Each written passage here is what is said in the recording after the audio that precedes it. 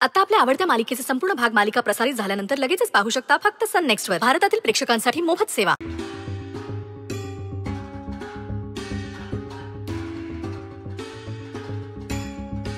स्वानंदी तू मेसमध्ये का नाही आली? आम्ही वाट बघत होतो जेवणासाठी तुझी. हे ब्लाऊज फिटिंग करायचं होतं.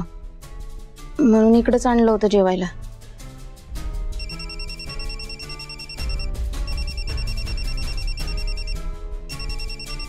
अंबिका मॅडमचा फ़ोन आहे.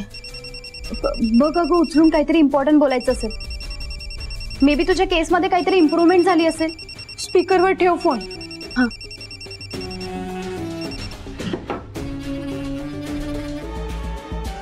हा. मॅडम बोला ना. अभिनंदन स्वानंदी.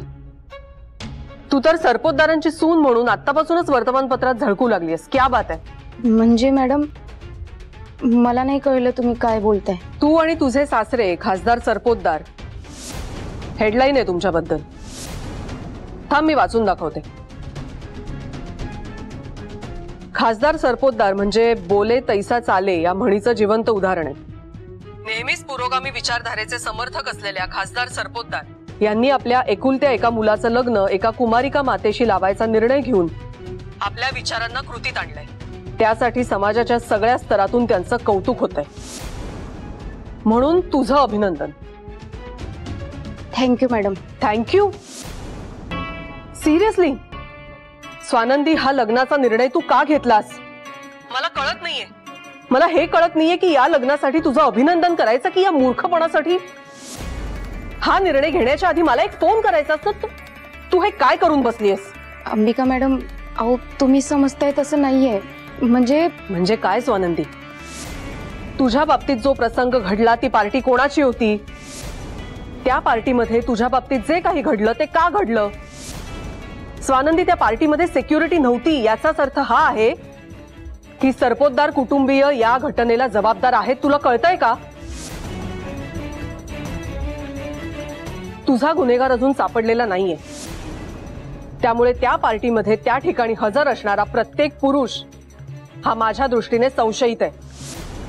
आणि तू याच कुटुंबात लग्न करून जातेस. मला असं वाटतंय की जोपर्यंत हा गुन्हेगार सापडत नाहीये, तोपर्यंत तू हे लग्न करू नकोस.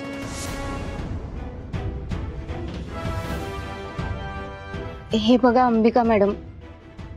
तुम्ही एक पोलीस ऑफिसर म्हणून, माझे हितचिंतक म्हणून, जे काही बी सांगताय ना ते पटतंय मला. आणि मला त्याचा रिस्पेक्टही आहे. पण मी घेतलेला निर्णय, त्याच्या मागे मॅडम माझे वैयक्तिक कारण आहेत काहीतरी. आणि ते मी नाही सांगू शकत तुम्हाला. कारण तुम्हाला ते पटणार नाही. म्हणून मी ना सगळा विचार करूनच हा निर्णय घेतलाय. ठीक आहे. स्वानंदी, जर का हाच तुझा निर्णय असेल, तर माझाही एक निर्णय ऐक. तुझं लग्न लागायच्या आत काही झालं तरी हा गुन्हेगार मी शोधून काढेन.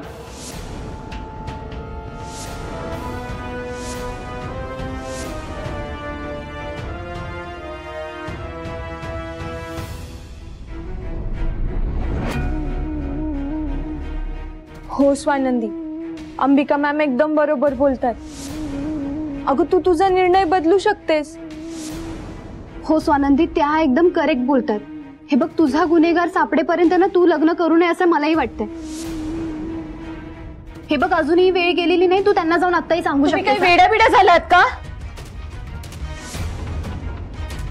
तुम्ही दोघी काय बोलताय कळतंय का तुम्हाला? काल तुम्ही मला सांगत होत्या ना की स्वानंदी झालं गेलं सगळं विसरून जा आम्ही तुझ्या सोबत आहोत. या लग्नात आम्ही तुमच्यासोबत असू. काय बोलताय तुम्ही दोघी? हे बघा माझा निर्णय झालेला आहे.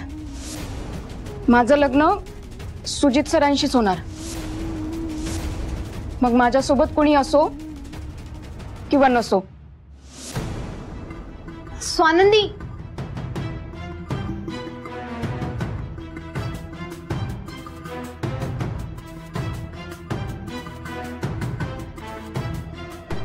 स्वानंदी. स्वानंदी प्लीज चिडू नकोस ना गं चिडू. नको तर काय करू? माझं लग्न म्हणजे काय खेळ वाटतो का तुम्हाला? वाटेल तेव्हा जमवलं वाटेल तेव्हा मोडलं. पण स्वानंदी अंबिका मॅम जे बोलतात त्याच्यात पॉइंट आहे ग. कसला पॉइंट आहे? इतके दिवस गुन्हेगाराला शोधत होत्या ना त्या. सापडला का गुन्हेगार? काहीच नाही लागलं हाताला. उलट संबंध खराब झाले सगळ्यांशी. अगं पण बस. मी सांगते ना ते नीट ऐका तुम्ही.